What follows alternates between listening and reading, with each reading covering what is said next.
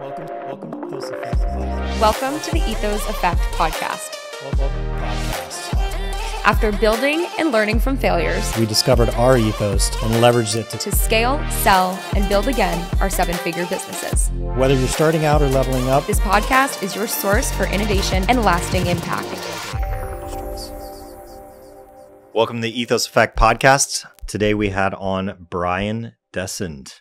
I call him Privada Brian. Privada Brian is because we have a lot of Brians in our life, and Privada Brian is an easy way to say it. Yeah, so this episode was 100% for me. I It have was. been, it's not about cigars, but uh, Brian is the owner of Privada Cigar Club. I have been a customer since 2017, and I've watched his business and the things he he's done, and I've just kind of related a lot of it to our own path, our own business, and he's a marketing guru. I mean, he really is. He, you know, started his business largely by accident. Um, completely by accident, actually. He just bought a bunch of damn cigars and he had a, a room full of cigars. And then he moved to LA and he didn't have a place to put them. And he started selling them in, in like sampler packs or like three packs. I mean, just a really, really great marketer and passionate. And then, you know, his beliefs on excellence, I think he embodies it and, and does it in his business. So let's get into it. All right, today we got Brian Desind from Privada Cigar Club. Uh, this is very much a episode for me. Totally. I actually could probably leave right now and nobody will notice, which will be a nice change from our I other think we episodes. notice, Yeah. but okay. Well, our listeners are probably like, yeah, we'd love for Chelsea to stop talking once in Well, a while. you're, and you, hear you were there when we smoked cigars. Hell yeah, I was. for sure. And I Yeah. enjoy a good cigar. Yeah. And I Yeah. also enjoy the joy that you bring my husband Oh, through your that's company. amazing. And you know, that's the thing that's driven me all this time. Like I had no idea. And we, we could definitely talk about that. But I do want to say I had this uh, two beautifully selected cigars for both of you. Mhm. And I just left them at the office. So I'll I'll ship them over. But I was like running out of it. We we've had this has probably been the toughest two weeks of my career. I saw. Wow, I yeah. saw. Wait We'll talk about about that that. because Yeah. I've seen what you guys have been posting. What It's you're been doing. dramatic, man. Yeah. It's been Dramatic or traumatic? Both. Both. Yeah. All the bad things. Shit. So we actually Yeah. love on this podcast, we talk about success, failure, all the things with business. But I know Donovan's been really eager to talk to you. So I just want to prep you. We do want to talk about some of those Yeah, no, I- failures, so- but I'll let I- him of start. course, the failures are what make you. 100%. Well, there's so many interesting things, and I think part of it is like where the cigar industry was for consumers prior, because it's kind of a daunting thing. But why don't you start by telling us what Privada Cigar Club is, and then I love the story about how it started. Yeah. as well. So Privada Cigar Club is or started as a uh, subscription based business in 2017 when subscriptions were really starting to come into their own. Um, I had a cigar collection, so I can kind of tell both in the same. Uh, in the same uh, breath here, it's I I had amassed a collection of cigars that got too great. It was just too much, and uh, my wife and I, uh, w- she got pregnant, and we decided to move back to Los Angeles to be closer to her family. Uh, she's Armenian, and it's a tight knit thing. And um, we ended up moving from, we were flipping a house in Pennsylvania that was 6,000 square feet, like in farmland. It was so beautiful. There's one video online where you can see the backdrop. It's like stunning. Um, and we were moving into a 750 square foot uh, apartment complex in right by the Grove in LA. And little did I know this apartment building, first of all, it was worst living situation ever. It was like a prison. You couldn't get food to like you had to like really go out of your way to get in and out of the place, which I understand there's security. It turned out that this place was like an influencer's incubator. Every I mean, you could literally go on YouTube, watch five videos, go out to the pool and see two of those people, three of those people there. There was one woman who she was very popular. She deals with mental health. She was like an escort that was on some reality shows. Thick girl, you know, kind of. I mean, it depends on what you like, but uh, I thought she was hot. But you know, like she's also kind of cr- like sc- crazy, scary, Yeah. crazy. Um, and she's Hot and she's like wild famous. I forget her name. And then there was this sneaker blogger that I used to watch because this is around the corner from like Supreme and all this stuff. Um, Manny Pacquiao was staying there when he was training for some fight, and there was just like everyone was there. So, so I'm I'm I'm there and I'm kind of starting Privada Cigar Club. It started really in Florida, and then when we went to Pennsylvania to flip the thing, but there was nothing happening. I had no members. I wasn't selling anything. Mm. And then when we were kind of like staying in LA for a little while, it started to start to become something. Yeah, not really. Just a, you know, a couple of like we were just putting the the the foundation in place, you know, and um, yeah. So uh, the other part of the question was so how we started was. I I basically I was a sneakerhead and I got to a point where right before I met my wife I was like this is kind of um, childish right? sneaker This is kind of like getting immature. Yeah. Yeah. you know what I mean? And then like I move around a lot. I go from like Miami to Tampa and I got all these sneakers. It's like what I never wear them. It was just like, all right, this is let's Grow let's yeah, let, exactly, right? This is right before sneakers became worth a lot of money though. Too. Like there were rare pairs that were, you know, could get you some money, missed but opportunity. yeah, not not really. I didn't have like the I, I had some really cool stuff, but nothing that was in the thousands or anything, right? So, um, so I was like, let me get rid of this, and I'm sitting in a uh, uh in a cigar shop in Tampa, and I don't really love cigars yet. I'm just there because. I had started my own business. I was an auto transport broker. I could work from home. So I would take the laptop out and I wasn't a big coffee drinker. So I didn't like sitting in, and plus I'm I'm I'm on the phone selling. Mm-hmm. So it was just more conducive in Tampa, Cigar City, to go to cigar lounges. And so I started going to cigar lounges. I would buy a cigar just because I was there and I don't want to be rude, right? Mm-hmm. And I would smoke the cigar. It was okay. It was all right. I wasn't tasting anything. I wasn't really, you know, I was right at the very beginning. And uh, this guy walked out with a uh, a box of very rare limited edition cigars. And I said, What's that? And he was like, This is XYZ release. This will be gone by this afternoon. And I was like, Okay. I got it in my mind that cigars were to like three to four, five fold in money. Like I felt like, okay, this is to be like wine. I don't know where this came from. That was my gut instinct. At the time, I was always like six months ahead of the curve, like with craft beer, whiskey. I was always like six months ahead of the curve. And I was like, I'm not going to miss out on this opportunity. I just got rid of all my sneakers, put some money into cigars. I started collecting cigars. Moved up to Pennsylvania, got my wholesale license. I started buying collectible cigars all the time. Limited. If it wasn't limited, I don't want it. That's Privada, right? Rare, aged, limited cigars. And so um, we moved to to LA. I have to get rid of these things somehow. So I get this idea to start this subscription. Uh, you get three cigars. Oh no, W- w- the real tell all was I went to sell them on eBay and different message boards, which you can't legally do, and people were just offering me like terrible amounts of money for these cigars. I was like, they don't understand. And by the way, as I'm coming here, I'm still in this mental state of the consumers don't understand. They don't understand how special these are. I'm wearing a Rolex watch. It takes supposedly Rolex claims one year to make each each Rolex. It takes longer than that to make a premium age, not not even with age, but to make a premium cigar from seed to cigar. It takes longer than that if you're going to do it right. So it's a very special artisan craft product. And I think the frustration for me has always been explaining to people how special something is.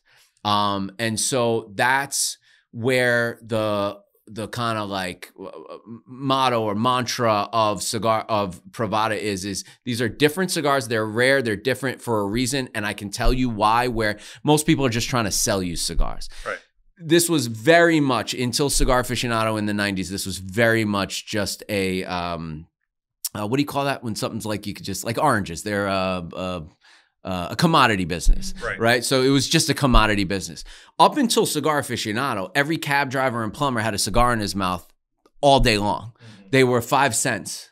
Okay. So Cigar Aficionado came out and they made it cool. And so you always have to give these people credit for that. We got the washed out, riding that thing out version of Cigar Aficionado. But during the heyday, during the 90s, they were doing all the stuff I'm doing times three, four, five, and but it was all in writing. Little did they know no one would be reading within 20 to 30 years, which is just a shame. It's and it's a fact. I mean, people don't even want long form content anymore, let alone they're gonna read old articles. It's not happening. Right. So I'm able to retell some of that stuff in my content, and that's been a, a fun and exciting. But getting that, the whole point of my content is to get that point out of why these things are so special. So long story short, I got this three cigar. I said I'm gonna.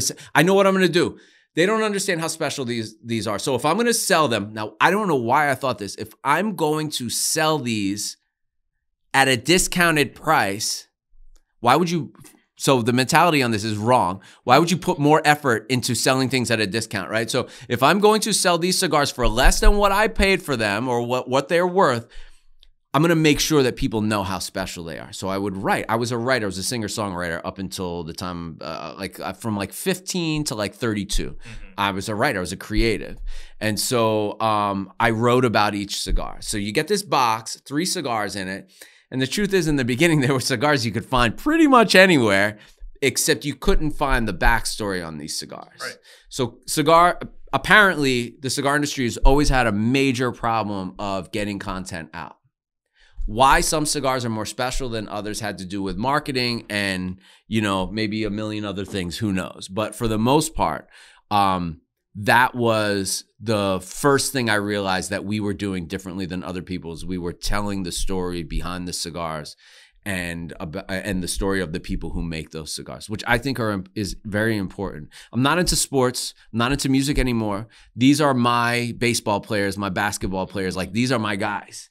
They I look at them like professional athletes. They're they're Pablo. They're they're they're the artists, mm-hmm. and so it's my job to tell their story because most of the time a gringo like myself would go down to these countries, get these people to make a product, put my name on it. Mm-hmm. Dessin, Davidoff, you know, and sell it, right? It's very rare that that companies like Padron got to come out where they make their own products and got to market it, mm-hmm. right? Very, very rare. So, um, once that happened, um, I still had no business and I was ready to wrap it up. I was like, this is done. Mm, this is over. You're just was, trying to liquidate basically all that you had well, liquidate. I couldn't do that. I tried that for six months. I couldn't do it. Okay. So I was like, I got epic fail. Oh, by the way, I also realized I'm very impulsive. So I just started the business like, boom, let's go. How and does I your built wife like that? What's that? How does your wife like that? I, I don't. I don't know. I, I she, she we likes need her it on the now. show. Now it's good. She she likes it now. I mean, um, you know, I've always been. By the time I met my wife, I had made every mistake a man can make. I stress the So man. now you're perfect? She tells you you're still making. no, some. no, no, no. I've never, I've never, ever, ever. I've been um, completely faithful to my wife my entire Oh, no, no, relationship. no. Like I've never had any. I had gotten all that out of my system in the music career, and just you know, I. I I guess I've always taken, even during my hoeing around days, I've always taken like a relationship seriously. I always Yeah. try to be, you know, Right. a good person. Just right? integrous. Yeah. I, guilt is a terrible thing for me. I don't want to hurt anyone. Yeah. You know. So um that's that's the story of Privada. So I'm sitting there, I'm ready to wrap this up. I was impulsive in starting the business and I forgot to look into a few key things. And one of them is in the business that I was in prior, this auto transport business, it's all pay per click.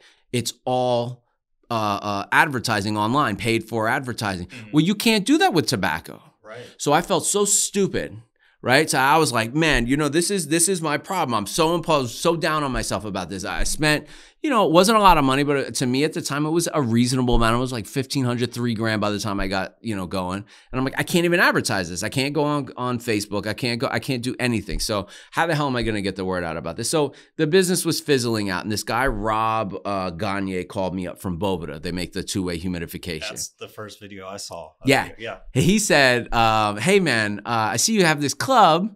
Um, if you send me the box on a monthly basis for free, I'll unbox it."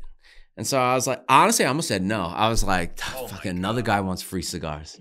You know, I, said, I was like, "Nah, I can't even sell them at a discount. this is not going well. This is not going well at all." So I said, uh, "What else? What else? I mean, what do I have to lose?" So I just sent it to him anyway. But I was pissed about the phone call. I remember Right. being upset about that.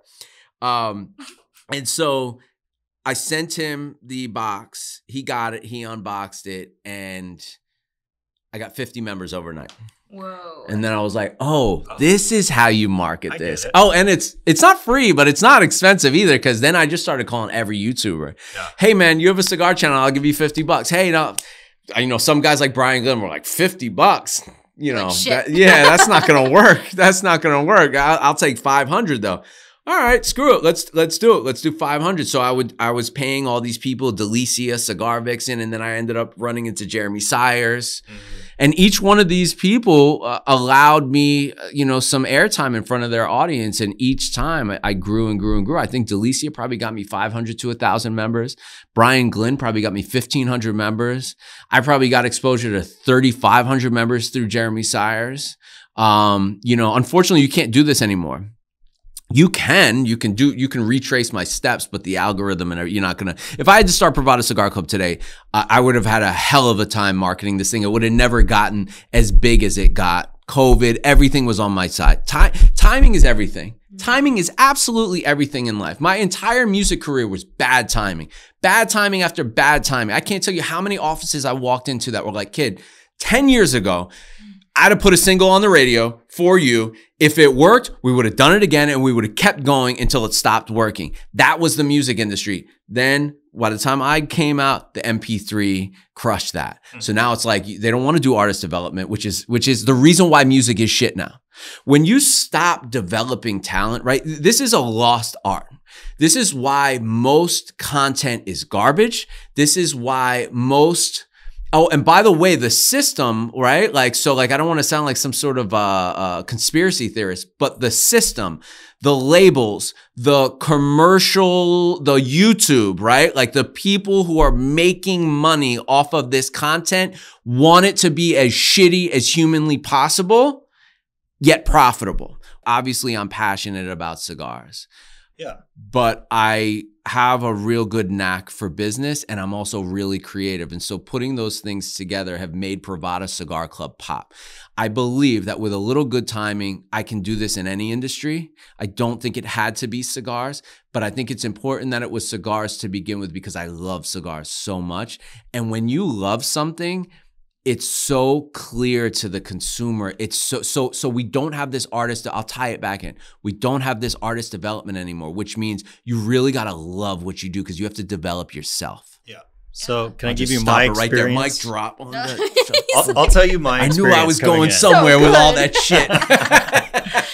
So- there's there's a lot of things that I've kind of watched in Privada Cigar Club, and I've watched it as a cigar lover, yes, but also I see like I see something that you're doing, I find it interesting, and I'm like trying to relate it to my business Mm. in a couple different ways. So there's a couple things. One is the experience that you would have without Privada Cigar Club, trying to get to know, understand cigars, the differences, Yeah. what you're tasting, what they pair with. So, you know, the typical experience is the local shop. You walk in and there's rows and rows of cigars and you can't tell the difference Mhm. and there's no information on them. There's no signs. So you're looking at the Mhm. colors of the wrappers and the size and you're like, "Oh, that's a cool shape." Oh, it's a light cigar. It must be mild bodied. Exactly, right? No, it means nothing. Like, Right. It is- doesn't. It is Yeah. not telling to the actual experience, right? Yeah. It's it's like it's like a coffee, right? Like a, an espresso could be strong and bitter, or it could be like rich and sweet. Comes from the same soils too. Exactly. So like the first thing was that Privada Cigar Club gave a easy way for me to build my education on Mm. cigars. Love that. For the people that aren't members, Brian sends out these cigars. He tells you where they're from, what region they're grown, what kind of seeds, tasting notes for the first third, the second third, and the third third of the cigar, Mhm. what it pairs with, and then a story on the grower, the manufacturer, or, Yeah. or the blender. And that cigar, like why Yeah. they made that cigar in So like being able to sit there and, and smoke and usually smoke with friends and kind of start to build that education is an experience that consumers really couldn't get anywhere else. yeah. Which was, I mean, I can't, Ed, there's been nobody I've smoked cigars with that I haven't recommended join your club Wow. for that reason. I, I'm like, you got to do this. Here's why. I'm so grateful for that. And I think a lot of people have had this experience, which means it was needed. It was there was a void. That was one thing that, okay, so like we're talking business here. This is a business podcast, which is why I wanted to do it. Um there was a void. So there's been a lot of talk lately on business podcasts and reels and stuff about whatever you do today has to be exponentially better than what else is available. Okay. And I believe that. If you want to make a big impact. Now, there are a million businesses like my auto transport business that you can get in, and do it the same way everyone else does. And you can probably earn a six figure living. But if you're looking to really have impact, you have to bring something to the table that's exponentially better than everything else available. Uh, Elon Musk having complete mental fucking breakdown now. I don't know what's going on with this guy, Yeah. but we have to respect the fact that this man put out a car that is exponential. It's been 15 years, I think, 12 years since this man put out a car, and even his first model is better than the electric cars that a lot of these people are putting out, and they're catching up quick. Let's be honest. I, I've been looking at Mercedes. I was looking at that BMW, that seven series looks mean with the the grill. I, I don't know. They changed the grill for the electric version, and it's it's tough looking. I like that. Um, but I'm not veering off Tesla. And I hear people say, "Oh, well, it's cheap." Is it? But when you drive a Tesla and then you get back in a gas powered car, you're like, forget about the gas and the electric. I'm not gonna do that. The, when I think about, I- there are tons of classic cars that I would like to buy. I won't buy them. There are tons of sports cars I want to buy. I, I was looking at a Maserati recently. They have put out this car called the MC20. It's it's crazy. This thing has like a thousand different nuts and bolts and pieces. When I bought my Tesla, I said, "Well, what do we do for maintenance?" They said, "What maintenance? You get Yeah. tires and brakes." It makes things it makes everything else seem a little dumb, right? Yes, it was exponentially better. Privada Cigar Club was exponentially better. I didn't know that. Right.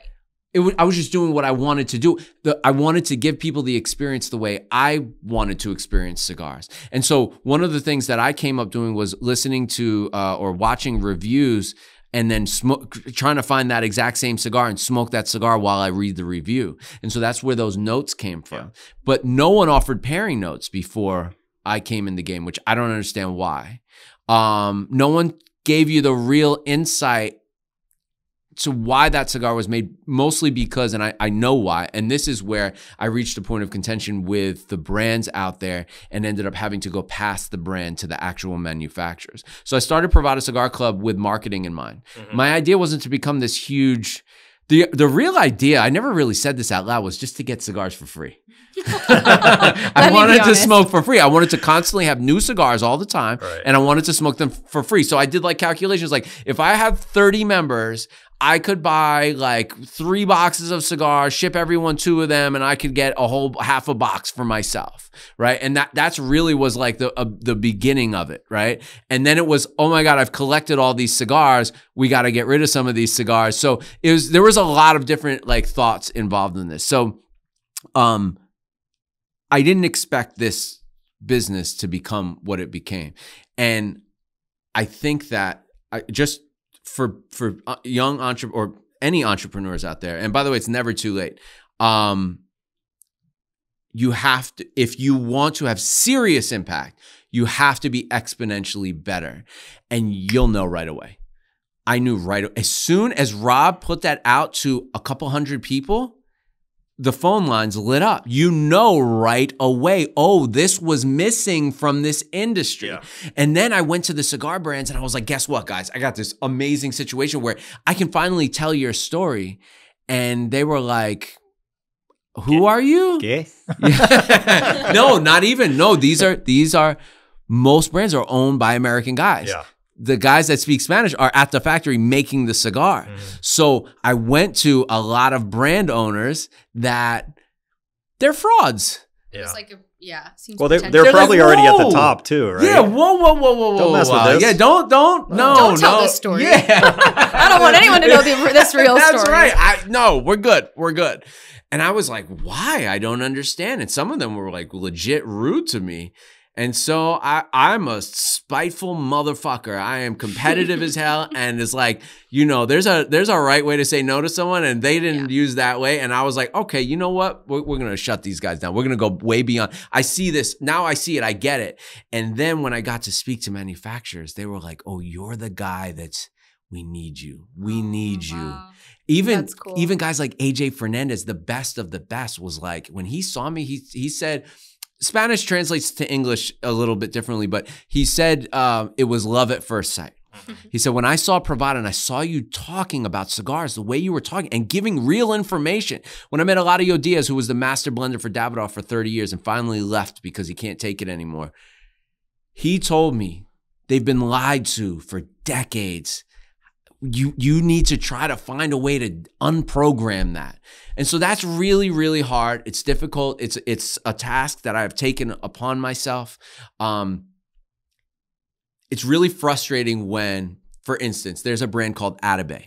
So Atabey came out, I don't know, maybe like five, ten years ago, and they had Cuban tobacco. That's what everyone said. They're Cuban tobacco. Well, the truth is, I don't I don't want to get into that part, but I can tell you that the uh, cigar is owned by and is branded by the creative director of Habanos. Okay, so this is a guy who made all the Cuban cigar bands. Okay. Yeah. So when he walks around, he goes, "They stole that from me. They stole that from me." He designed all that. He's like the Brian of Privada. He is to Habanos, right? Okay, great guy. Nelson Alfonso is a, a legend, right? And so I make cigars at the same factory as Atabey. I make them with the same tobaccos as Atabey. And when someone comes to my website and says, You're out of Atabey, and I say, You should try this, they're like, No, no thanks. And I'm like, My man, Yeah. it's from the same family, the same rollers, the same tobaccos. They're like. Not, not, not. Not gonna, you're not gonna pull that shit on me. yeah. I heard about you. you right. know, it's like uh, okay, like so. So it's it's there's always that uphill battle of spreading that information because I do want the cons- consumers in cigars don't know what a good cigar even looks like. hmm I'm telling you right now, I could give you three cigars and people will pick the cigar that looks the worst. And it's like the looks aren't the most important thing. But if I show you, if you put three cigars on the table, I have a professional trained eye. I can pick out the one that they put the most time and effort into and that has the most expensive wrapper on it. And the reason I can tell that is because I've been around the guys, they've taught me the ways that. So if I know that this cigar had more time, energy, and cost put into it, it's probably gonna be better. May not be, but it's probably gonna be better because they took their time and did it the right way. And so the average American consumer cannot do that right now. No, for sure not. Yeah. They're, we're not given an education. Um, so this this brings me into another point I kind of wanted to talk Yeah. about because you're selling rare, aged, kind of limited edition cigars Sure. in the club, and that's kind of the spirit, Mhm. By and large, of the club, right? Stuff that you can't really get. Privada is rare, age, premium. That's our three things. go, Yeah. right?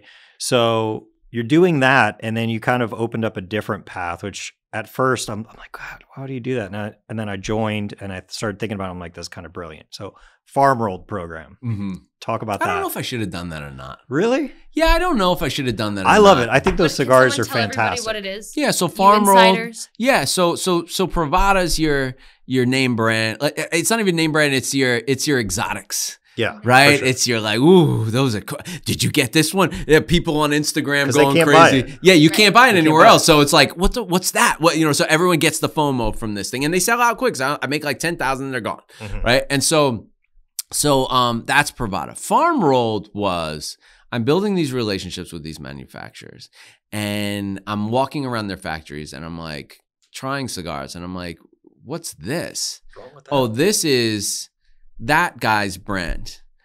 Oh, well, why are these here? Well, he asked for 10,000. We made, you know, w- tobacco's not that exact of a science where you can say, we're going to make 10,000 exactly. They bring in bales of tobacco and they're done making cigars when they're done. They can roughly tell you by the weight, we should be able to get 10,000 out of this amount. But chances are there's going to be 500 left over, 1,500 left over. So Mhm. I started taking those from the factories that I really liked and selling them with no bands on them. Because one of the things that some of my critics said about me was that I was going to, um, um, my whole model was going to uh, cheapen cigars, and so I wanted to do the opposite. I always took that as a as a challenge, right? I'm going to do the opposite. I'm going to make the cigars more sought after, and you know, I'm not going to discount them. They're slightly discounted in the club. They are. Mm. You know, you get three cigars for basically 30 bucks after shipping and everything. So, whereas if you bought those cigars in singles, you're probably going to pay more like $45, right? Right. $50 if Yes. prices are going up. Anyway, so um I didn't want to cheapen brands at that time. Sometimes now I do just because they've been such assholes to me.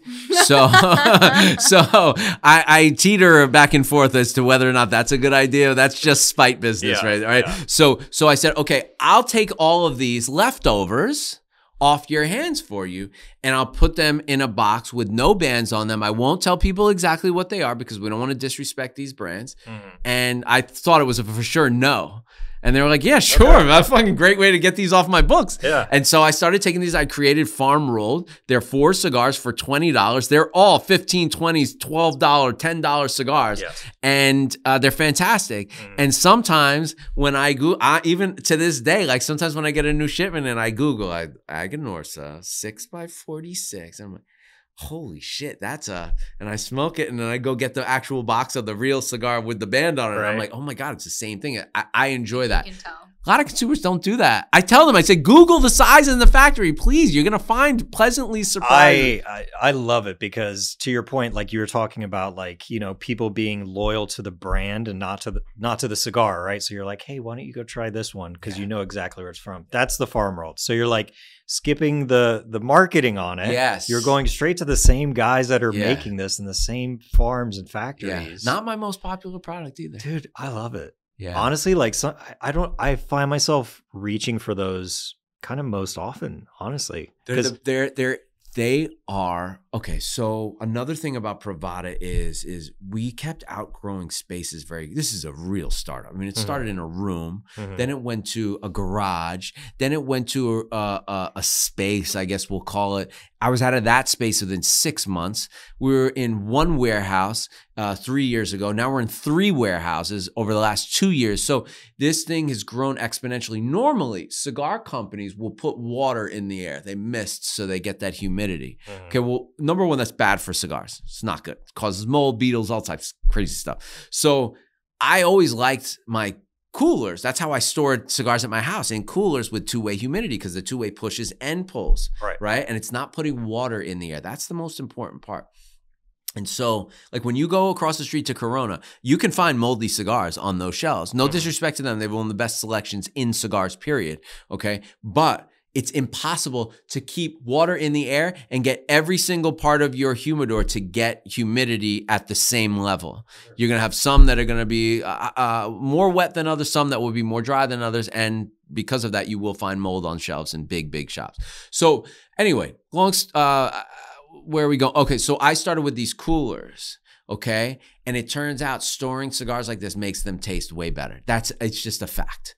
Okay. And so, a lot of people started asking me, why do your cigars taste different? And I'm like, I don't know what you're talking about. And then I was at a, I was at a, like a lunch with my dad and a member of the club out in Merritt Island. Um, and he was like, bro, why do your cigar, like he was asking me like on some, like he had a hunch something was up. What are you doing? Uh, Yeah. And I was like, what do you mean? And I tried to just like brush off the question. I was like, I don't know, you know, I don't, I'm thanks, you know. Mhm. He was like, no, no, I'm asking, why do your cigars taste better? And I was like, oh, it's the, it, it's got to be the coolers. It can only be the coolers. That's the One only thing. difference. Mhm. And so we stuck with that. We have 1,500 coolers right now, about 3 million cigars. I'm probably down, truth, truth be told, I'm probably down to like 2.1 million cigars. Okay. So, um, I don't want to bore people with cigar talk. I want to talk more about just business, Mhm. but the the you have to be infinitely better than, exponentially better than. There has to be a void for, Right. right? If you're going to do something that's going to make as big of a splash as Privada has made, you have to some of those key things have to be there. You don't have to do all of these things to make a successful business, but if you want to become an interrupting, you know, situation, you have to have good timing. There has to be a void in the industry for what you can offer, and you have to be exponentially better than what other people can offer. Otherwise, you can do very well, but you won't be Privada, Tesla, uh, uh, Sierra Nevada. Like, you know, we're we we were approaching the second year of business um you know for a buyout and we're i'm just not interested in that at the time i was like man i and maybe for the right price i would but i i have 16 people that have this tattoo I, by the time i started Privada i said no more tattoos i'm not getting a tattoo and i had to get this one i should have got it a little bigger because some of these guys like have it like huge seen some of these ta- there's 16 or 17 of us Yeah. now i gotta take care of these guys for So life And, and he doesn't mean members? employees. no, Yeah, no, yeah. these, are, customers. these are customers. Yeah, Yeah, are are all over the customers. country. branding They're his my friends. They're my friends. They're my tattoo crew. Can you paint a picture of like the the size of Privada, like members and like how the business has Yeah. grown, maybe for employees, that type Yeah. of thing? Yeah. So, um, this is a great conversation for people who want to be entrepreneurs. You, uh, no matter how far removed from being a pencil pusher or a uh, an MBA you are, you uh, need to start to study accounting on some level, bookkeeping on some level all the time. You have to figure out ways to make it feel interesting and you have to understand it because I have probably half the business that I had when you guys were hanging out at the house. Mm-hmm. Um, and I make probably three times the amount of money that I now than I did then Yes. because I had zero concept and it was growing so quickly I didn't know what to do. Mhm. Um, and so, you know, I, I had that coming to Jesus moment where like someone asked me about cash flow and I was like, what's cash flow? And then someone else was talking to me about cash flow and I was like, what's cash flow? And they're like, cash flow is like what you bring home. I was like, oh, you mean what I make? No, no, no, no. It took me like months. so some things I'm just dense on. Like accounting practices are one like I have to I went from cash method to um Accrual. method, it took me like a year to understand. I just did it because I knew it was the right thing to do. I was angry about it for months and months and months because in my mind, I thought I was actually like somehow paying taxes twice. I didn't, I just could not grasp this concept. So there are some things I'm a complete idiot on. And this cash flow thing was one of them. Mm-hmm. I was like, "What- I'm making this money. My at the end, my books say at the end of the year, I made. I think at our peak, we were probably at like 12 to 15 million, somewhere in there. Okay, 13, something like that, right? And uh, there, but but what are you bringing home? That's cash flow. What can you take out of the business? That is cash flow. Right. And the person teaching me this was my cousin. He's an MBA from, um, he went to Columbia for his MBA program. He went to University of Michigan. He's got like a 4.0. He's like, that he thinks I'm the most brilliant person ever. I, I like, I look at him, I'm like, this guy's a genius. And I, you know, I was like some street kid that figured out how to sell cigars, right? Um, but I understand what he's saying. The marketing, the marketing is is very hard for I think most people to. It's it's a it's a talent, or and, it, and I believe it can be developed too. But I don't think they teach you that, right? You can even take marketing courses. You're not going to be a good marketer. Um, so cash flow, accounting principles, I can see where a guy with a very not exciting business can make a better living than someone who's crushing life. Right? Yeah. And so that's what was happening. I was crushing life. We were dominating an industry. We were making enemies with the big guys, and everything was all about Privada. And I'm not taking home any money. I am adding to my uh, uh, collection of cigars, which is my inventory, which is in fact my money. Mm. But I don't know about you. I don't want my life savings to be in a perishable product. Yeah. You know, you know what I'm saying? Because we had that storm, and sometimes you Oh. open these things and there's beetles. There's Oh. holes. There's, your cigars are Swiss cheese. That's your money. That's like when Pablo goes and digs up the box and the money's been deteriorated, Yeah. right? That's no good. That's a second Pablo without a last name reference in this. I'm gonna go for three. I think Pablo Picasso, Pablo Escobar. Uh, there's another Pablo out there, I'm Okay, sure. Okay. Uh, so, um, so yeah, so like that's not smart. It's great for my consumers because we're we're like every box now is like five year age cigars, three year age cigars, two year age. Because I'm getting them with some age on them, then I'm putting the age on them myself, and so we're getting. This will never, Donovan. This will never happen again in cigars. I always wonder about It, that. it, it made no financial Yeah. sense. yeah. Um, luckily, they didn't perish. Luckily, I am able to sell them over time. Luckily, there is a, a a sizable market out there that appreciates this now, right?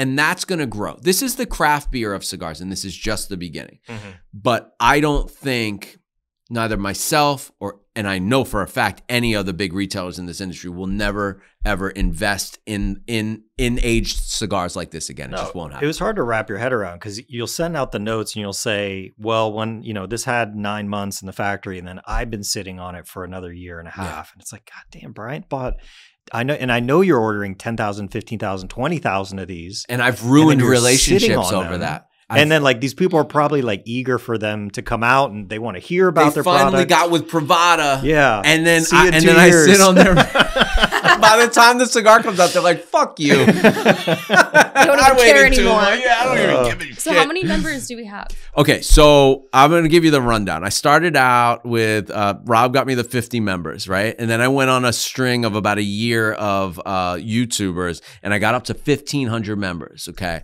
Then I met Jeremy Sires and I got up to about somewhere between 3,500 and 5,000. Let's call 5,000 members, okay? Which is, I'm probably about 6,000 members right now, okay? Um, now, other business owners would tell you these numbers a lot differently, and I'll explain why.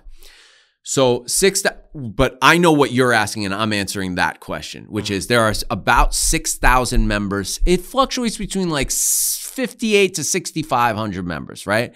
Okay, in the club right now. Would you call a member an individual subscriber or That's like that's what I'm answering you with. Okay. Okay, so there are other people that would answer this question a lot differently. They would say, "How many one, how many one, subscriptions one. are you sending Yes. out?" If you ask me that, I'm at I'm still at like twelve thousand. Okay. At my peak, I was at eighteen thousand. Wow. We were printing money. Wow. Okay, printing money.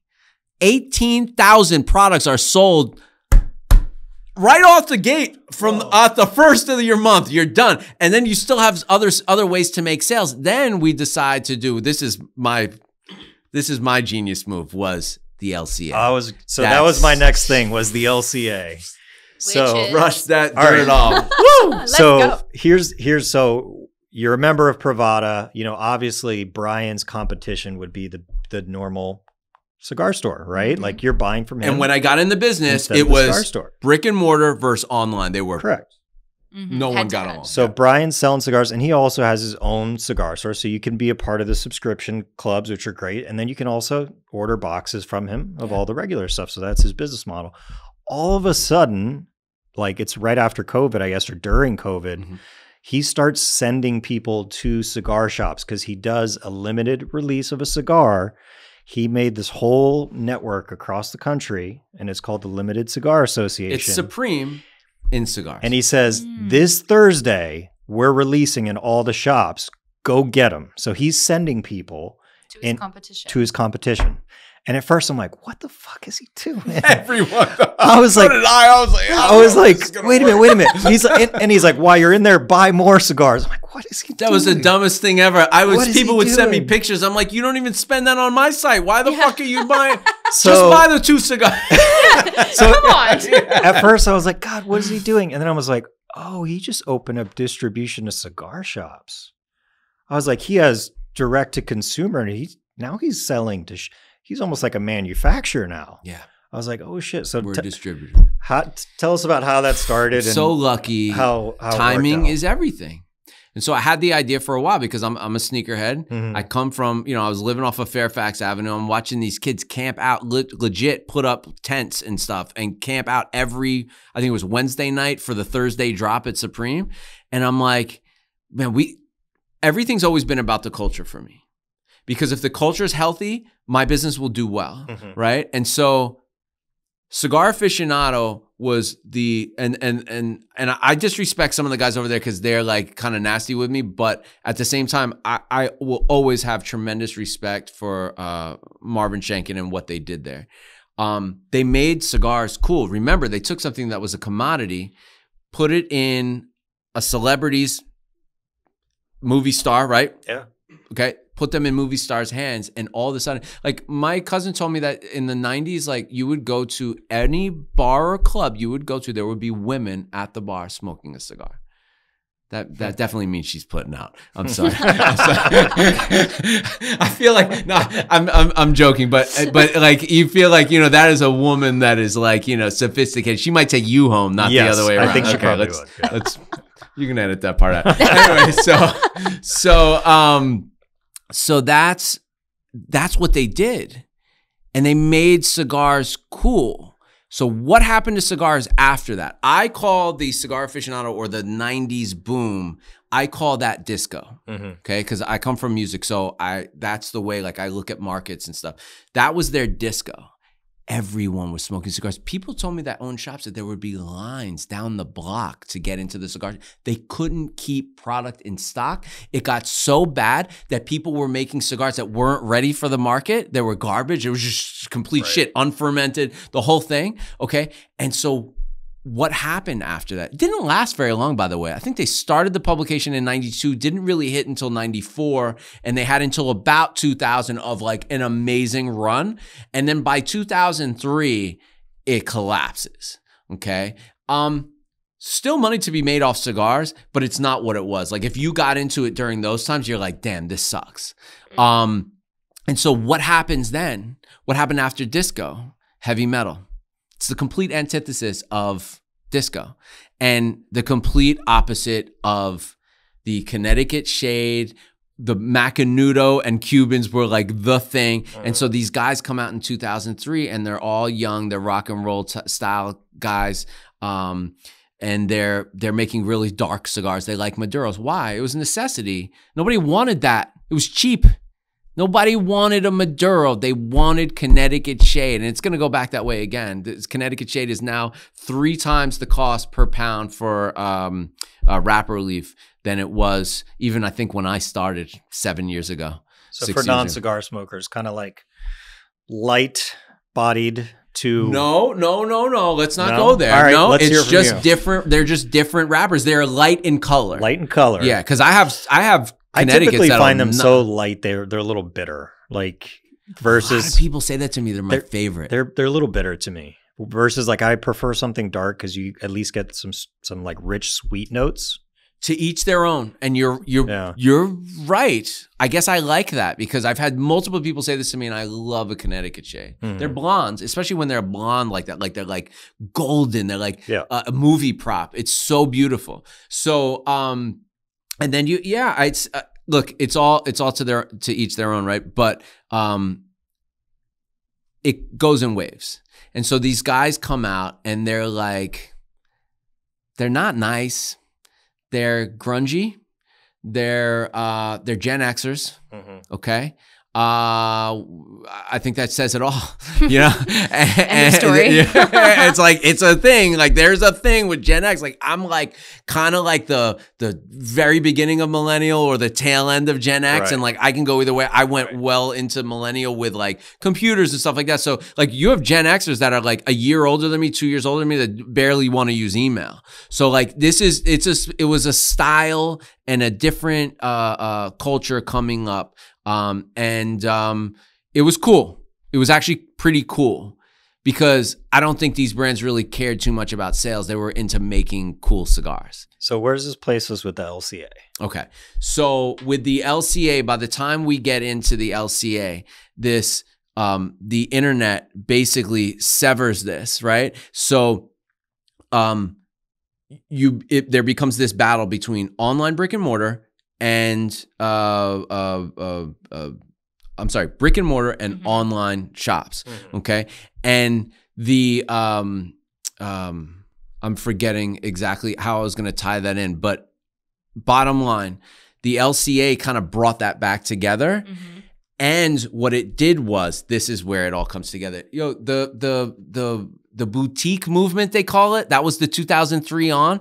The boutique movement all they did was give cigars an attitude brought it into your like the mom is like it became very like beavis and butthead. Like you walk into a shop and these guys are like oh judging you on what you're getting and you didn't get uh, uh this cigar so you're not cool. And, and that's how when i got into cigars and i was like this isn't gonna work. We're gonna need a much more positive like friendly Accessible. vibe yeah, Yeah. accessible. Don't make me feel like an idiot for coming in here. That's Yes. Why online's kicking your ass right now Yes. so my idea was, well, what's popping in pop culture anymore? Because Cigar Aficionado took Arnold Schwarzenegger, put a cigar in his hand, and they were like, this is cool, and everyone followed suit, right?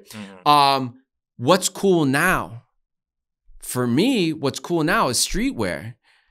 You got a young black man from sh- the south side of Chicago who changes Louis Vuitton with streetwear. You have all of this culture and fashion and art coming together in streetwear. Streetwear to me is the the culture. That's where the stuff is at. It's where art, fine art even, is meeting like kids in the street, right? So it's like all these things coming together. That's the cool thing. That's online. That's popping. Hype beast, all that stuff. That's what's popular. There's Supreme. They have this line around the corner every until cigars can do that, cigars aren't fucking cool. They're not. I don't want to hear about some dude that's retired that drives a Corvette and has a boat down in South Florida. Like, who, who cares? Yes. Who cares? So if if people that aren't into this stuff don't care about cigars, it will diminish. It will just go away. Mm-hmm. And it was getting very dusty. It was getting very mom's basement. It was getting weird. And so Privada brought pop culture back to that. And we did it by creating spaces like this, putting cool stuff up that people go, oh, I'm into Bear Brick and Louis Vuitton and this. And, and then they see my thing and go, oh, he's got Jordans back. Oh, I'm into that. Oh, he's into cigars. You know how many people I've turned on to cigars? I almost feel bad about it. Sometimes Yeah. people send me emails. I'm like, damn, man, I don't want you to smoke. Like, I want to make money, but I, you know, I, I, don't think it's bad for my health. I smoke three cigars a day. I really don't. I've been around guys that smoke 12 cigars a day. They're 86 years old, still walking around the factory, you know. Just chilling. Yeah. And I ask all the time. I've had over now 35,000 members come through Privada Cigar Club during this, this life of the club in six years. Wow. And every once in a while, someone will say, I'm leaving for health reasons. And I always ask why. I've had one, one guy who had lung cancer. That was it And he's a two pack a day cigarette smoker on top of the cigars. So he's a truck driver. His name's like I was Russian gonna say truck you, I driver. mean, you don't, Yeah, you don't yeah, inhale yeah, cigars anyway. So you're right. So so but people don't know that. And so um it's uh look, that's what's cool now. So I brought some cool on top of that business model. I brought something cool, something new, something young. We needed this. We needed that. And we still need more of it. More young, active people need to be smoking cigars. More couples like yourself need to be smoking cigars. It's just, it's, it's, it's so important because you can have as many PCAs out there and Cigar Rights of America, but when that uh, legislature, you know, those people, those Congress people, those uh, uh, uh, representatives sit down to sign a bill that has anti cigar stuff in it, they're gonna think about you, the nephew. Oh, that my nephew loves cigars. They're gonna think about young people. Are people when you see someone smoking vape? What do you think? When they go, I'm not gonna say actually what I'm thinking. when you so see curious. them, when you see them, or when you see them doing the hookah, Uh, doing the. I sound like an old man. The doing vape- the Doing, hookah. the doing vape, hookah. I, I think of. Uh, I don't know. It's somewhere something I saw on TV, but it. But I always think of. You look like you're sucking a robot's D. Uh, okay, Like- all right, wow. Like, it's just a little. It's a little odd. that one. It, it looks. It is super it looks weird. very weird to me. I think it looks unhealthy. Yeah. I see someone that's that's damaging their lungs. Yeah. Yeah. So like we don't we don't want to we don't look like that when we smoke. When someone smokes a cigar, they're not coughing, they're not No. they're not doing it. They're not by the way, all of these this hookah and now it turns out vape are like the most unhealthy things in the world. Mm. So like cigars aren't really that bad for you. So that leaves secondhand smoke to be the only thing that could potentially damage. And they've done studies and they're saying there's not much coming up. They the FDA would have brought that to the table already. So the point is, is young active people should be enjoying a cigar for meditative purposes or communal purposes, or just to me, what what they really are is I find people that get into cigars are foodies once you learn how to taste flavors, which took me like six, seven months of, you know, I'm sitting in that Tampa uh, West hum- uh, West side, West Tampa Humidor. It's called Tampa Humidor. I'm sitting in Tampa Humidor and I'm smoking cigars all the time, and I'm like, I'm not getting it. And then one day I get a flavor, and I was like, holy shit, I just tasted like vanilla. And I was like, is this flavored? No, it's not flavored. That's interesting. And then the guy was like, You know how to retrohale? And I learned how to retrohale, which is what you're doing every time you eat food and drink things. Like mm-hmm. that's how you're tasting. Your mouth doesn't taste things. It gets five senses. Your your smelling is your olfactory senses is what's doing the the actual flavors. And so once you learn how to do that while you're smoking, it's like, oh wow, this is it's delicious. It's it's it complements a meal. It's like, you know, That's great. it's all I the things a cigarette's supposed to be. Yeah, I mean it's you know, I've explained it to people that like know wine and I explain like how wine can be thin or it can be lush and I'm like Yeah. it's the same with smoke and it Yep. can taste like this or it could taste like that and um and I agree like you have to look at your health in totality and I think mentally it is one of the best things I've ever done because I only have like one to two cigars a week. Yeah. Not very much. Yeah. But when I sit down, that's 90 minute fuse where I'm going to sit there and either enjoy it by myself and decompress, or I'm going to sit there with friends and we're just talking for an hour and a half It's straight. meditative. It's 100% great. It's you know, it's not like when you're drinking at the bar and you're bouncing around and you're going to the bar and you're, you know, You feel like you're sitting with your friends and you're just going to sit there and smoke and talk. yeah. And it's great. So that is I try not to talk about health benefits of it because I think that would be really irresponsible of Mhm. me. And I think that's exactly what the FDA probably wants to see is stuff like that. I've Hmm. seen other uh, business owners in this industry talk about health benefits, and I'm like, dude, come on, you sound like a fucking salesman. Yeah. And that's one thing I Lose think 10 pounds with Privada Cigar Club. anyway, no, I have had multiple people though. I will say this, and I've had this experience too. I used to get a lot of colds. Mhm. I don't get a lot of colds anymore. Hmm. And I had another guy, Dan Cleveland, up in uh, Minnesota. He told me that he used to get a lot of cold, like he was sick often. And since he started smoking cigars, much less. There was talk in the beginning of COVID about smoke, uh, you know, having less less rates. I don't know if any of that's true, but um, you know, Native Americans used to use it as a medicinal. I, I sit with this guy named uh, Art- Sartorial Tobacconist. He's from Mississippi. His family were tobacco growers. He's been using it on his skin for his whole life. They used it as medicine. It, it, it, there are other properties to it other than just smoke. And the one thing that I want to say is cigar tobacco, handmade cigars, are the one form of tobacco that is not processed in, in regards to adding chemicals. We are trying to strip all the negative out. That's what the fermentation part is about. Getting out the ammonia, getting out any, you know, of these, uh, uh, uh, I guess, chemicals that ferment out of it, right? Getting the Mhm. gases out and, and really uh, getting a well-aged product. You can't make great cigars if you don't follow a good process. And that's the reason why some of these countries are falling behind that were once kings is they're not following the process, you know? So, um, my, my, I, I, I'm fully in tune with, um, what's going on in our industry as much as someone who doesn't live in a factory can be and um you know i'm seeing I, there's probably 150 uh factories i could select from and i'm down to like seven that i'll buy from. I'm supposed to be getting the best cigars in the world and i'm gonna work with the best and that's like a values based decision, right? Like you're just aligning and Yeah. working with people who have the same values. Yeah. So tell us a little bit about like, I mean, I've heard you say really important things on the business side, right? From like timing to being exceptional. You've given our listeners a lot of good lessons. But what is your like personal ethos, if you will, Yeah. that like guiding why? Yeah. So um, when I was a young man, um, I never got my oil changed. Didn't care too much about having a clean car. Didn't show up on time. Somewhere in my mid to late twenties, that changed, and I noticed that I liked things in order. I think I came from a very uh, dysfunctional, chaotic place uh, as a child. And i think maybe like as i'm maturing like it it came to like no i want to be a neat person. I want to have my shit together. I don't want to be like where i came from.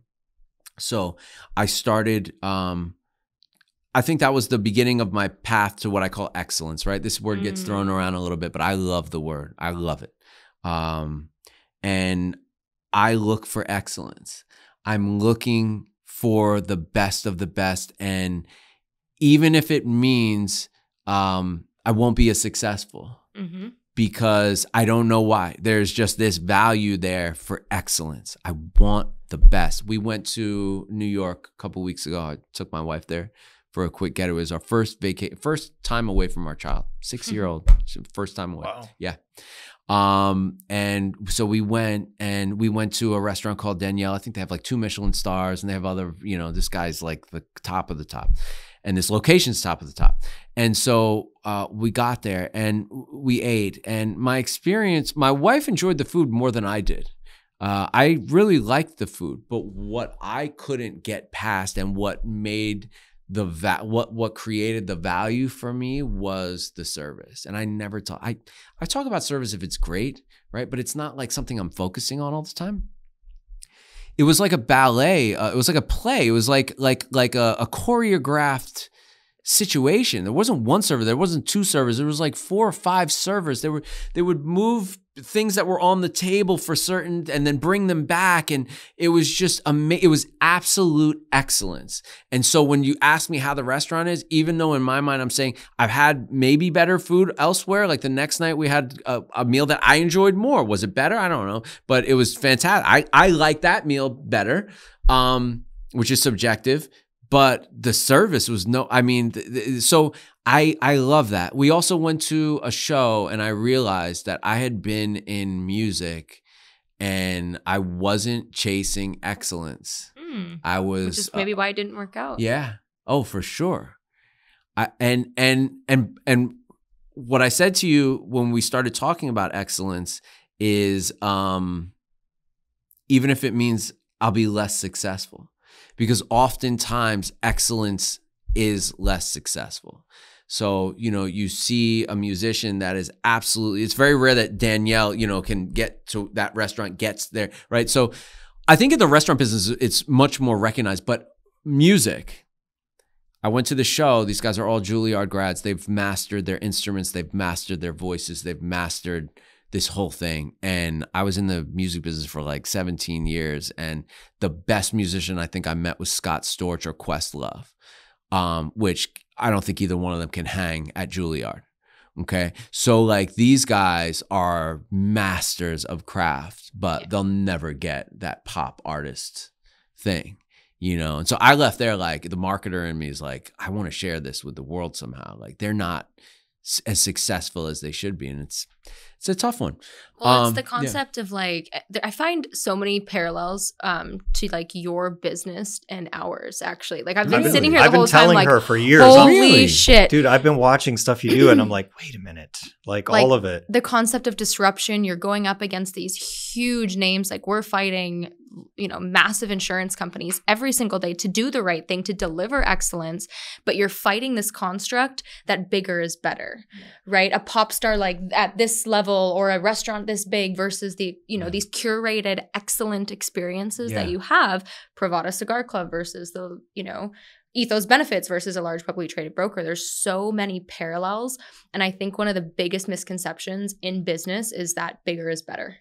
You know, like and So, and all of it. but we're we're lucky right and so i think um i don't know all of our ages and where we but we're in the same group Mhm. of people right and um i think that we're about to see some positivity in regards to um I- think I've until Privada Cigar, I've always been like, we're getting screwed. We, you know, with the timing was terrible for our generation. We had 2008, and then there was this and that, and and, and so now, obviously, I'm happy because I'm like, I'm, I'm, you know, doing it over here. But I think that now, of all times, we're about to see a shift in consciousness of wanting a more personalized experience, A transparent experience. transparent experience, Yes. a more familial experience. Yeah. I think people are seeing what happens when you let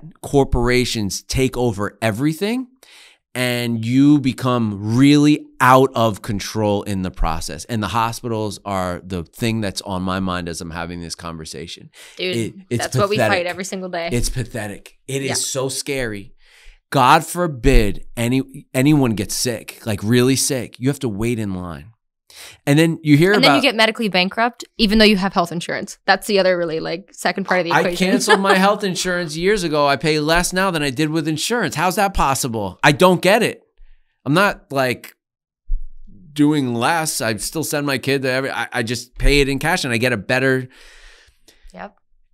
So I think that we might really reap the benefits of that. But what does that mean? It means that you have to be excellent at what you're doing because the first time you slip up, they're going back. And I would use Amazon as um as an example, but the fact of the matter is is that Amazon is excellent. That guy is into excellence and it worked for him commercially and he figured out i think his real genius has nothing to do with the business it has to do with building teams hmm that's all that is Culture. I mean, whatever he did is the right. I've heard the stories. Well, you can't do if you come to a meeting. Of, uh, you know, if you bring a manager an idea at Amazon, they can't shut you down without writing a two-page reason on why they're they're shutting it down. And so I think the idea of that is like so that most ideas do go up the la- like. I, there's just so much brilliance in that that it, it's excellent. And by the way, you can deliver me the items that used to take weeks and days, sometimes hours. That's Seven excellent. hours. Yeah. That's excellent. So I don't think it needs to be like I I pose it as in my industry, um, family owned versus corporate because that's that's what it is in my industry. In every industry, it's going to be different. But um, I will say this: I think I was really lucky with my timing, right? And so the one thing that we want to do as entrepreneurs is be successful, right? Because that's dude, it's time in versus time out. It's like Jay Z. I, I always think about this. He was he was saying that when he uh, thought about all the money he made selling drugs, and then he divided it by the amount of hours he put into it, he could have done the same thing working at McDonald's. Okay, and so we want to put our time and energy into something that will be profitable or legacy building or just something that's going to come back to us. And so we really want to be careful, especially during times of success. All of those things you mentioned, Farm Rolled, LCA, could have been epic failures. Had I kept chasing them, so I'm really big on, and one thing I'll leave like in everyone's mind is like, do things the Brian Desind School of Business is starting things on a shoestring budget. And if they're really good, you're going to get signs of it right away. And if they're not, pivot. Yeah. So that's that's all I'll say about that is that I think we might be in a position where we can benefit from all the corporatization of stuff because people are getting tired of it. Yes.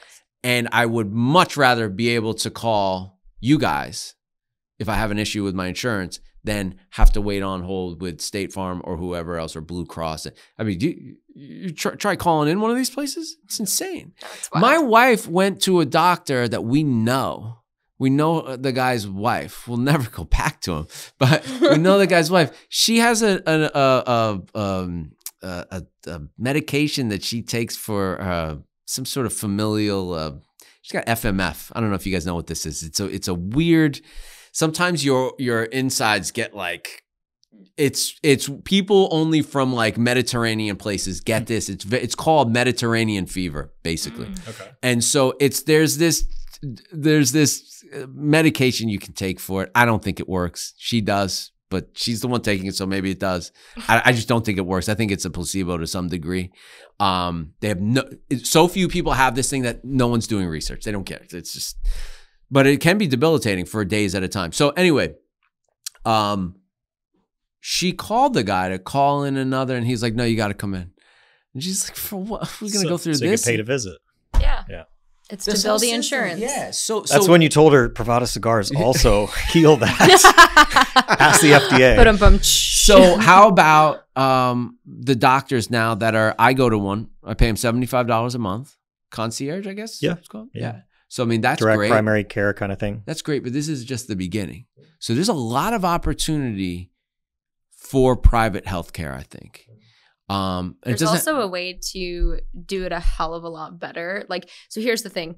You think, and then we'll close and tell our listeners where they can find you and all that good stuff. But like, actually changing the American healthcare system, it's not going to happen in our lifetime. So like, there's this concept of like, well, just screw it, let's rebuild a new one, right? Which is Mhm. kind of what you're talking about, like, or like Medicare for all, or like total privatization and get rid of all of that. The much better way to do it is to build an alternative system right alongside it and just Mhm. make it a clear choice because it's excellent because it's an exceptional it's exceptionally better so that's what we're doing through employer plans Mhm. um but yeah i just want to throw that out there because i think it's interesting but it's using all those concepts that you're talking about and now the timing is right because people are fed up with healthcare so it's working really well It's amazing. So with Privada, actually, I'll close with I'm not done with cigars though. I, I just want to say that. Okay. I'm not. Cigars will not be my final business. no I'm not done. No. good. I'm not done. do No. I've learned so much on how to be an excellent entrepreneur. There's no way that I could limit my. Uh, I have 12 years until my kid's out of school, hmm and then I'm free again. Okay. because I just like to move around. I like to be. I, ju- I just like to go Well, places. we're Right. we're all just hoping the the club doesn't change. You know, Club won't change. Um, funny story about how I met Brian because I watched the uh, Boveda Mhm. video, and I think you actually went up there to meet Yeah, I him did. and you shot with I him. sure did. And that's the video I, I saw that video, and I think you shot in like Minnesota or something. So I just yeah. I assumed you lived up there. No, no, Right? Minneapolis. Yeah. So I was in our local cigar lounge across the street from here. That's right. You were you had your pack with yeah. you too. No, Yeah. no, no. I didn't have the pack. I was Oh. just smoking the cigar. Okay. So you you saw the cigar I was smoking. I was you're drunk. like, I was drunk when No, I saw you it. just no, I was. Oh, oh, yeah, yeah. I was drunk. I was. we got really drunk after. Oh yeah, I, I, I was hammered for two years before uh, COVID. Oh man. to, through COVID. I haven't, I don't drink a lot anymore, but I was uh, being drunk on camera was a lot of the marketing for. Oh my god. For Privada. yeah. So I was I was just at the cigar bar by myself after work and I'm smoking the cigar and Brian comes up to me. He's like, "Hey man, I didn't want to bother you. I just wanted to tell you that's one of my favorite cigars." And I turn her, I look at him and he looks like this. So like obviously I recognized him from the video cuz he's got The a very unique look, style. Yeah. And I was like, "I know, dude, you sent it to me." That's right. I was like, "You sent me the cigar." Yeah. And then we went outside and smoked probably Yeah, another yeah. 3 cigars. yeah, yeah, yeah. That was a great night. That was a great night. Um so Amazing. for people maybe interested in cigars, learning more, figuring out what they like, where's the best place for them to go? I know the YouTube thing has changed Yeah, because I, mean, feel like they're hiding your videos from me. they are. Um, they are. That's why I said I don't think I could have done this, dude, I don't. I don't see them anymore, and I'm No. subscribed, and I feel No. like they just don't even pop up. I know it's not uh, popular in the algorithm to be in tobacco, and even it within Mhm. tobacco, sometimes I just get on like an anonymous page and search uh, cigars, and I don't even come up. We got guys that are like, I don't even know who they are that come up. But anyway, you can go to privadacigarclub.com. We now have a videos tab Okay, so that people can look at those videos, watch us going to some of these factories and making these cigars and then actually buy the cigar. And then when you get it in the mail, you can rewatch the video while you have the cigar. And so we try to create these experiences. We've got a bunch of documentaries on there. Mm-hmm. Uh, and we'll continue to put up content. Um, but PrivadaCigarClub.com, join the club, the rare uh, subscription, the first one that pops up, because that's the one that really gives you all the information Yep. on the cigars. And, um, you know, it's a great experience. It's a great way to enjoy cigars. And um, over time, you'll start to see more of our products on shelves at stores. Our distribution network has gotten monstrous. thanks We're to the over LCA. five. Thanks to the LCA, we're Yeah. over 530 shops. Half of them carry our products too, other than the LCA. Um, so it's been going really, really well. Uh, so as the club numbers are coming down a little bit, the the LCA and the online shop are making up for it. So that's been pretty cool to see too. So you you really you know you always want to be um, thinking about this stuff. Yeah, evolving. Yeah. You're always progressing. Yeah. Right. So excellence. Let's talk about that before we go though. Right. Because like excellence, it sounds sounds kind of you know whatever. Um, in its simplest form is just always every day trying to be better than you were the day before and of course that doesn't happen every day right i just went two weeks without working out i just couldn't i, I we moved this machine dis- destroyed me Mhm. I, I literally broke and came back right and by the way uh, in my entrepreneurial career i've had two nervous breakdowns where i was not in a good mental space for three four months at a time maybe one one was more drug induced when I was a musician, but um, but but as a as an entrepreneur, I remember having I I got so angry one day that I just I felt like you you know when you feel it, you feel Yeah. hot and like oh no, this is the stress plates are not this isn't good. And later that day, I like sat down at a restaurant and I had the worst panic attack, and I Mm. pretty much stayed that way for like three months. So like it's a it's a battle, especially for people that are you know like me that are a little mental. well, for people that feel, for people that feel that people that have Yeah, access yeah. to those deeper feelings, Yeah. and yeah, So it's not easy, right? But you just want to try to be better. And yes, there's I think even David Goggins talks about that during his you know he's had setbacks for years at, at sometimes, Mhm. and you know it just continuously trying to seek a better way to be a better person to be a better business to be a better monthly you know package to be Yeah. just better at what you do better online experience right that's it and that's what corporations can't do yes. In order for them to do that, it takes years. Yeah. They're so- a giant boat and you're a little speedboat just pivoting and excellent, excellent, Yeah. excellent. Yeah. well, thank you so much for that. You being guys on the are such show. Naturals at this, man. We gotta. I'm gonna do everything I can to uh, get the word out about the podcast, and I appreciate you. you. guys having me here. And I can't you. tell you how refreshing it is to be able to talk about business. Yeah. Um, normally, I'm just talking about cigars, and business is my sport, man. This is what I live to do. I love it.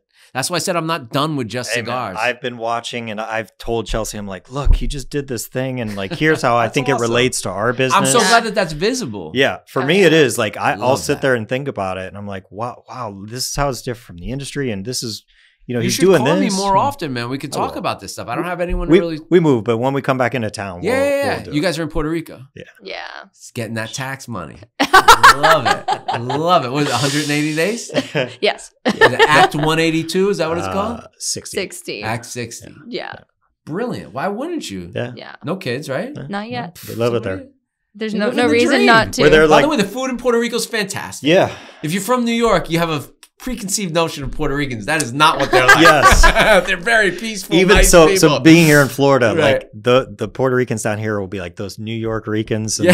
they'll, they'll be My mailman told Yeah. me that first. He was like, I'm not from New York. yeah, yeah, And he's like the nicest guy in the world. yeah. Yeah. So not that I, I grew up with all Puerto Ricans in, in Yeah. like New York and Pennsylvania.